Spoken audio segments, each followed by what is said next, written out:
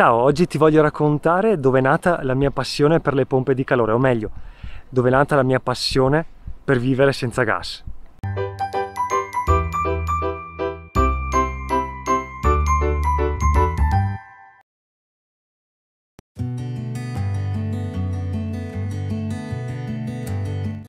Ciao, oggi sono in montagna, come vedi con la neve, sono qui con la mia famiglia e colgo l'occasione per raccontarti com'è nata la mia passione per vivere senza gas. Beh, tutto è nato diversi anni fa, nel 2012, quando mi sono chiesto perché nei paesi nordici, quindi in Svezia, Norvegia, in Estonia, eh, vivono senza gas, quindi riscaldano casa con le pompe di calore invece che con la caldaia. E non era solo una mia fissa questa cosa, non era solo un detto comune che nei paesi nordici eh, funziona la pompa di calore e non funziona la caldaia, proprio sono i dati di fatto.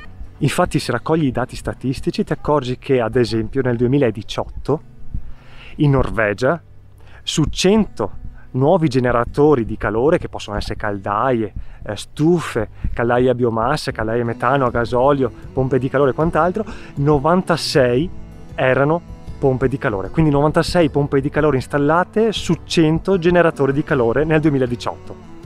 E questo va un po' contro quello che è il pensare comune, che la pompa di calore funziona solo con le temperature miti e non funziona quando fuori fa freddo. Perché allora nei paesi nordici funziona con il freddo?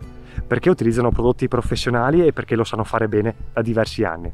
Ok, ma poi dirai, lì costa meno l'elettricità. No, non è vero allora se vai a vedere i dati statistici, anche in questo caso, ti accorgerai che non solo nei paesi nordici è più conveniente la pompa di calore, ma lo è anche in Italia. Ecco qui ad esempio i dati statistici. Quindi la mia spinta per capire come vivere senza gas arriva per due motivi principalmente. Uno dal punto di vista tecnico perché sono un ingegnere e quindi la mia curiosità nel capire come funzionano le cose e nel capire perché in altri posti funzionano e in Italia non erano applicate mi ha portato ad, ad addentrarmi ancora di più in questo settore. E poi l'altro motivo è la mia famiglia, che in questo momento è qui dietro a correre su e giù per la neve, perché non voglio che i miei figli crescano in un mondo inquinato. Se leggi qualsiasi articolo, sempre più bambini soffrono di patologie legate alle vie respiratorie perché? Perché abbiamo un'aria inquinata nelle nostre città, nei nostri paesi e non è giusto regalare questo futuro ai nostri figli. Quindi questa è la seconda motivazione che mi ha portato a capire come riscaldare casa senza gas, senza inquinare.